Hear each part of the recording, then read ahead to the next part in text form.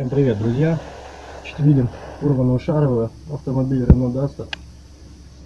Значит, ее надо, э, пыльник надо поменять. Значит, что мы делаем? Гайку откручиваем вот таким ключом на 18.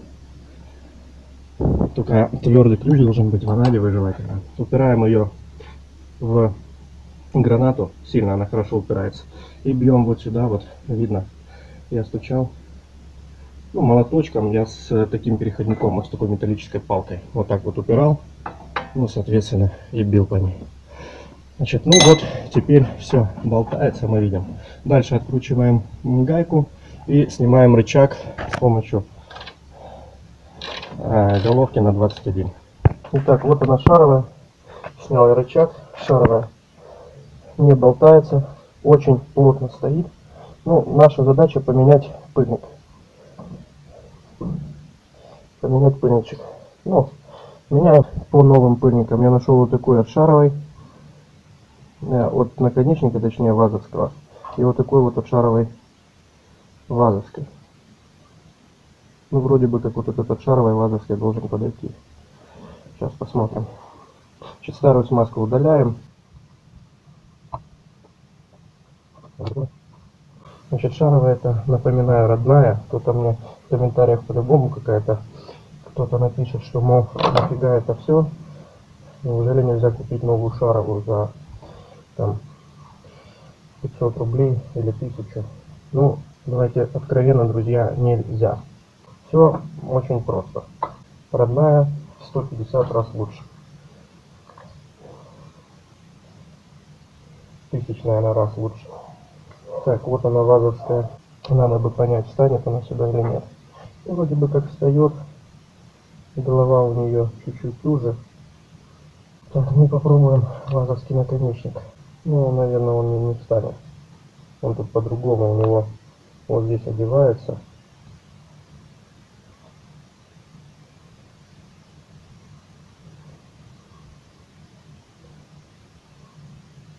Она из-под низу, видите, надевается, он по-другому как бы работает.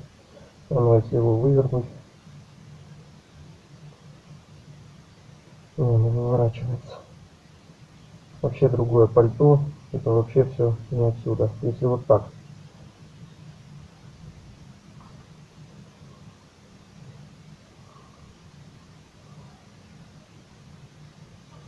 Ну не будет оно держаться.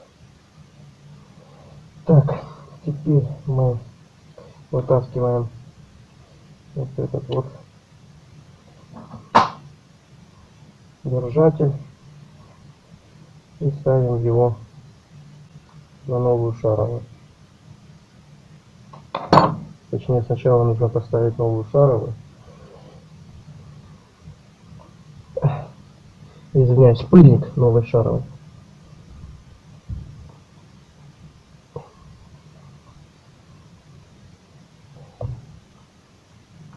Честно сказать, что он особо вставать не желает.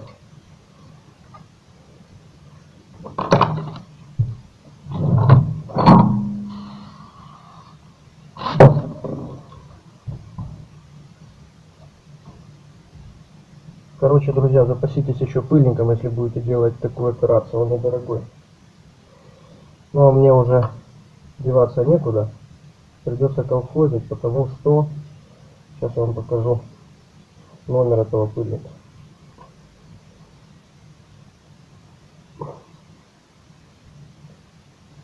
Вот так вот просто написано на нем CR. CR, никакого номера больше нет. Он очень мягкий. Друзья, ну думаю, вот этот вот пыльник от наконечника вазовского сойдет. Вот он одевается. Но стоит он вот так.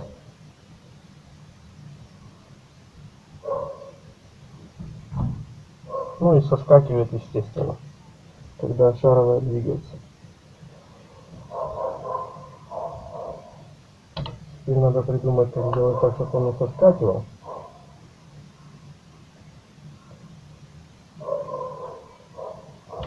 Давайте попробуем вот этой стороной.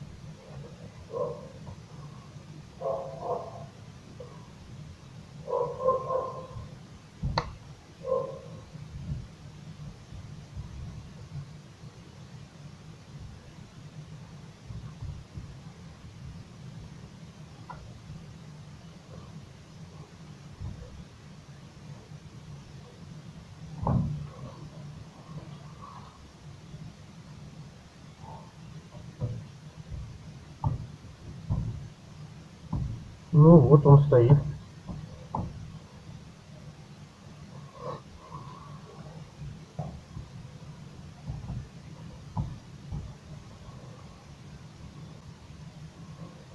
Ну, единственное, что такой процедуры, наверное, хватит совсем ненадолго. А может быть и надолго. Это мы не знаем. Так, ладно, деваться мне некуда, оставляю этот пыльник. Сейчас набьем сюда смазки.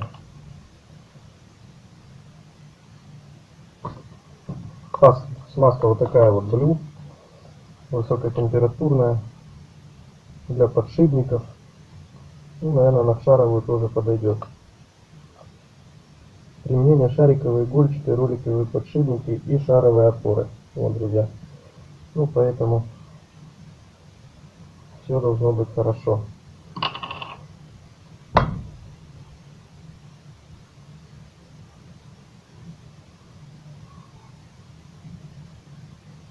Вот так.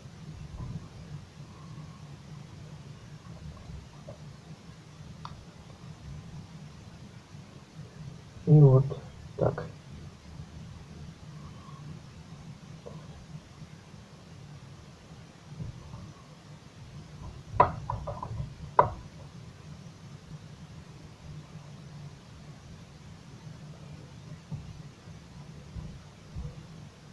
Ну, думаю, этого с головой должно хватить.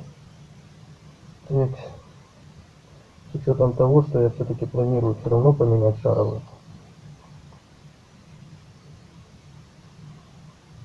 И немножко мы прям в шаровую.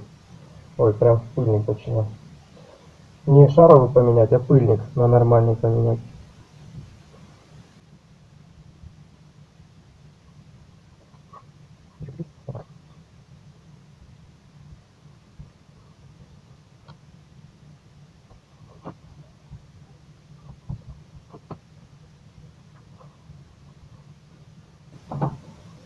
Ну, это такое. Надо все равно будет прокатиться, а потом проконтролировать. Ну. Ну, можно один, можно один, можно один. Плечо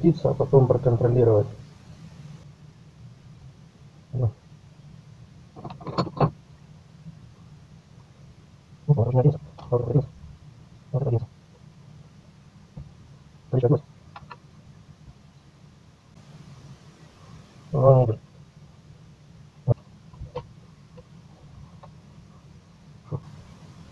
Вот как-то так. Друзья, сейчас его сделаю.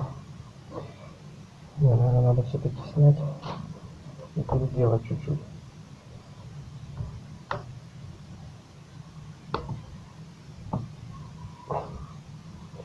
Ну, смотрите, как плотненько она осела там и все, и сидит.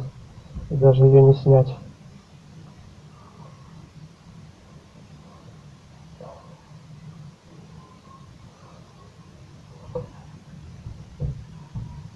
И даже вот, вот прям вот так. О, снялась. Вот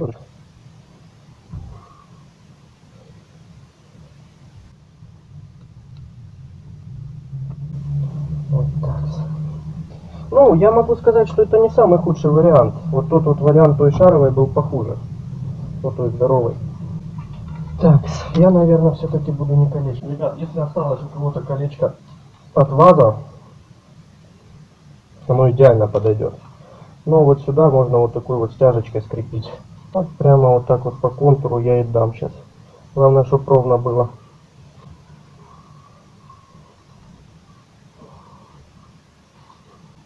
Куда-то делись красивые плоскогубцы.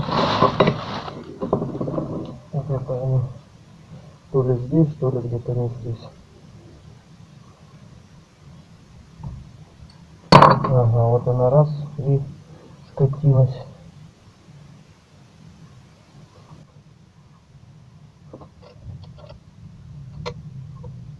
Ну вообще, в принципе, что бы и нет. Вот прям вот так. Она ее не поднимает. Она ее по контуру делает. Так, я понял, народ. Надо вот, короче, сделать то же самое, только более толстой стяжкой. Сейчас я найду такую. Так, вот я нашел более толстую стяжку. Сейчас аккуратненько раз не повредит. И вот ею. Только давайте-ка вот это вот все здесь протрем еще разочек. для того, чтобы... Ну и отлично. Все.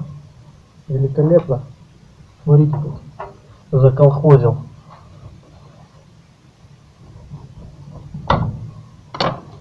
Так, и вверх. Давайте, может, сделаем точно так же, а? Только с маленькой. Все равно она у нас временная. но тут смысл в том, чтобы чтобы затянуть ее потом там. Ну, давайте вот так, я ее сейчас не это. Вот так. И вот теперь затягиваем.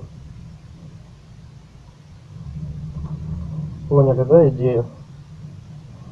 Раз.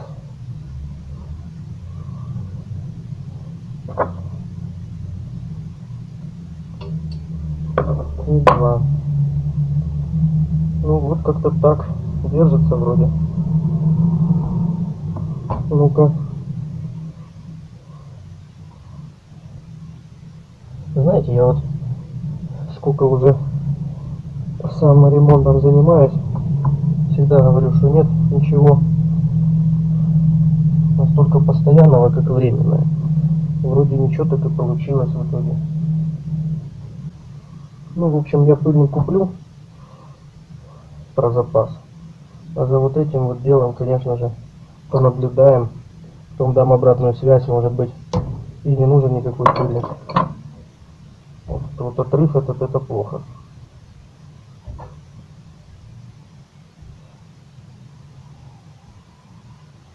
Надо посмотреть, не осталось ли здесь. Ну вот единственное, что плохо, да, что в резине резина будет упираться в этот. Вот в эту вот, вот в эту вот штучку. Это вот единственный такой плохой момент. Вот можно еще решить, попробовать решить вопрос с помощью вот такого вот резинового кольца. Резиновой такой прокладки. Ну вы же понимаете, что это тоже будет ненадолго, потому что оно со временем все равно прорвется.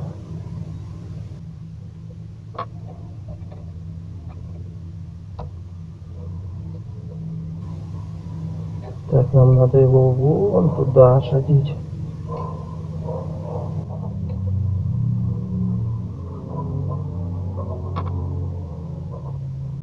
Ну, я не скажу, что это мега прям сложно. Одевается все прекрасно. Вот так. Ну, а эту стяжку тогда мы отрезаем.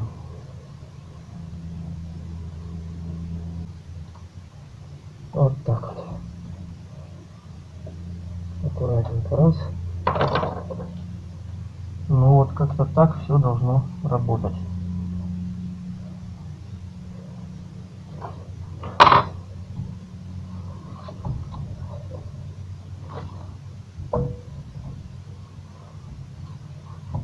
Долго, нудно и так далее. Ставим обратно. Ничего сложного ну, не будет. Прикрутили болты, прикрутили, прикрутили гайку. Если у вас вот здесь вот прокручивается из-за смазки, значит тогда подпираете вот здесь вот.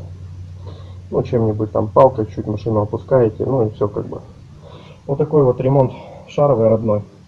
Я думаю, что это не временный вариант. Это, я думаю, на постоянно. Если увижу, что течет, тогда я только буду покупать себе пыльник. Все, всем спасибо, всем пока. Удачи в ремонтах, удачи на дорогах. Не болейте.